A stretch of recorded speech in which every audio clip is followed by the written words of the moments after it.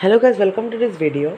In this video question is find a difference between the compound interest and simple interest on sum of rupees 4800 for 2 years at 5% per annum uh, payable yearly. So this is the question I solve this.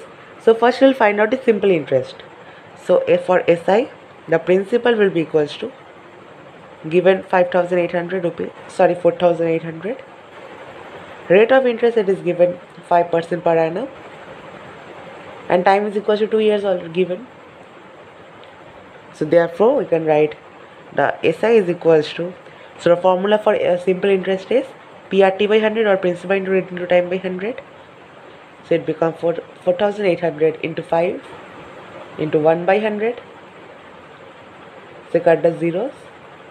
So remains 48 into 5 which will be equals to rupees 5 8 0 40 carry 4 24 so therefore this is a simple interest.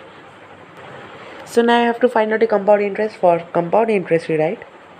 So for compound interest also this uh, value will be same. That is 4800 rate is equal to 5% per annum.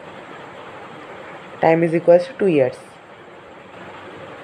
So therefore compound interest will be equal to therefore that CI is equal to formula is bracket. Principal into 1 plus rate by 100 to the power n where n is a time bracket close minus again the principal. So this will become the compound interest. So put the values principal is our 4800 into rate that is 1 plus 5 by 100 to the power n that is 2 years now bracket close minus again principal that is 4800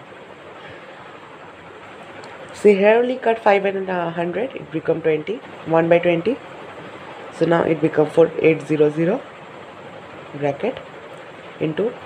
So now this uh, portion is doing the so it become 1 plus 1 by 20 so 1 plus 1 by 20 for that we can take 20 as the LCM 20 into 1 that is 20 plus 1 so it become 21 by 20 so therefore this 21 by 20 it will be written two times as it is given to the power 2 so it equals 21 by 20 into 21 by 20 so bracket close minus 4800 so cut the zeros first.